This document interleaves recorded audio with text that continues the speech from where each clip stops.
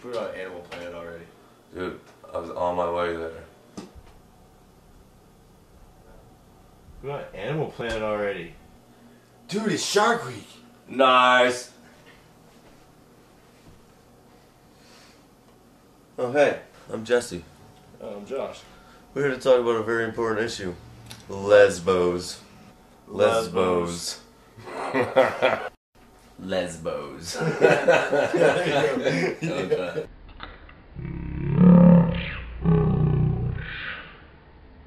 Lesbians are taking over the nightlife in North America. They're not your friend, regardless of what they say. You should come up to a lesbian, you should say absolutely still. Like a T-Rex. They can't see you if you're moving. Nope. Safe. Safe. Can't see you. It's a fact. Not gonna happen. You're safe. Safe. Bulldykes are easy to spot out, because they're bulldykes. But their hot ass girlfriends? Danger. Danger! One time, I was hitting on this hot ass chick, and then her bulldog girlfriend come out of nowhere, punched me in the face. True story. I hate that shit. In reality, they don't want you. They want your sister. Uncool.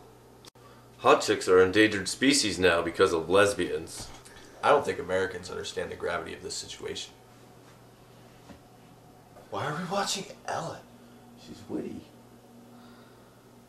Every day, at least five hot chicks are taken away by carpet munchers.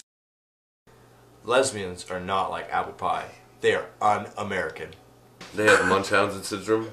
Dude, I just want to watch fucking Dog Whisperer. Serious?